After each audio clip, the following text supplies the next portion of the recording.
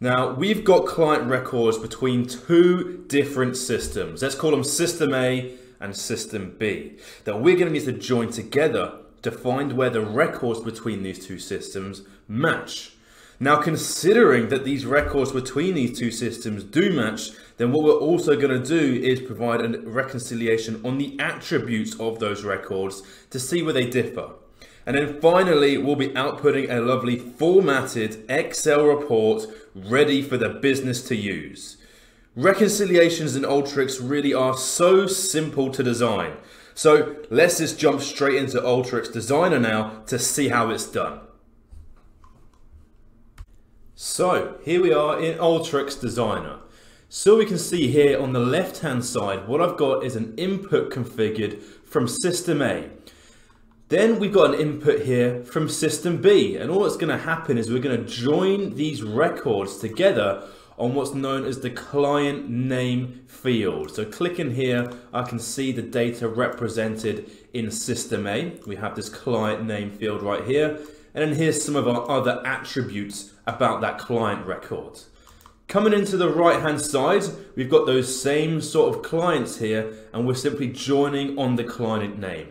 Now I can see, should these records join together like so, then I can place the attributes from system A and system B just alongside one another, prefixed from which system they're coming from.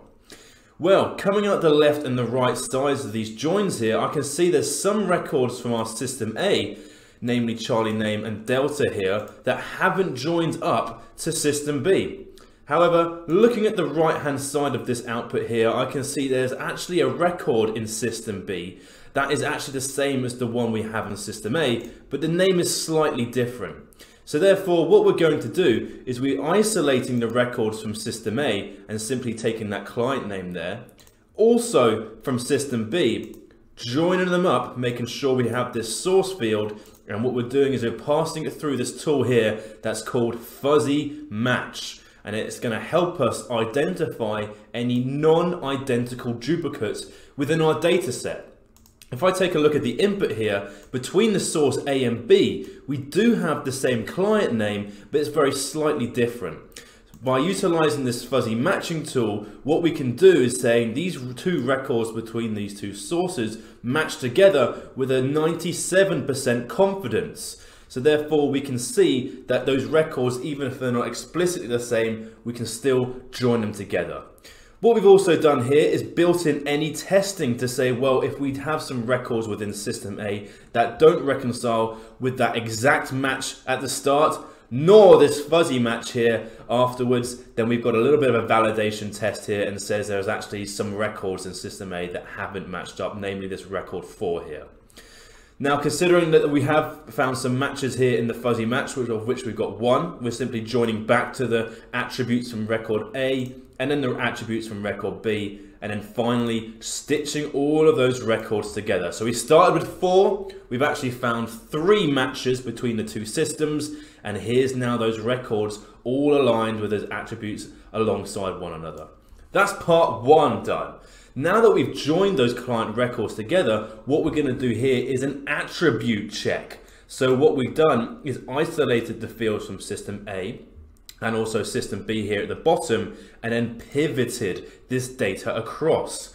So we've grouped by these sort of main fields here and then I've got all of the attribute field names down here and then the value that it holds. So all I need to do here is join on these key fields the name of the attribute, and then the value. Coming out of this J part of this join here shows me where the attributes from system A, you can see represented here in A value, and the attributes on system B represented here in B value are exactly the same as one another. That's brilliant. But considering that they don't join, they're coming out the other sides of this output here on the left and the right hand side. So what I can do here is simply join by the key fields we've identified and the name of the attribute, missing out the value from this join criteria to say, well, here are the attribute names and then the value from A and B. And we can of course see how they differ here in this nice, easy to spot view. Finally, what we've done is once we've done all that reconciliation, I'm formatting a nice Excel report here. So I'm putting it into a variety of different tools of which this table tool here is going to configure the format of this output.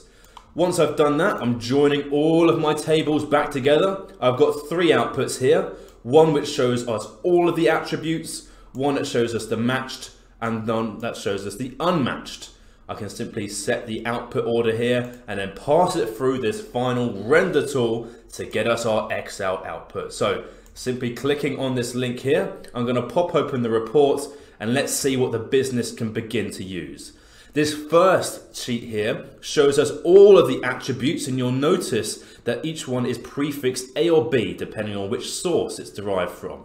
What I've also done is applied some conditional formatting within Alteryx to make it really easy to see where these attributes differ. And I've highlighted here in the B column where they do.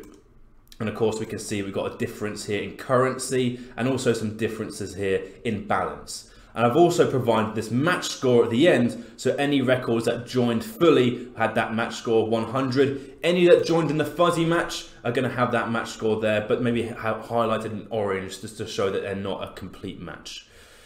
We've also got this match tab here, so I can see here's our attribute name, and then the A and B value accordingly. So you can see those stacked up there. And then also finally, those same attributes, but in an unmatched view just filtering for where some business people may need to pay some closer attention.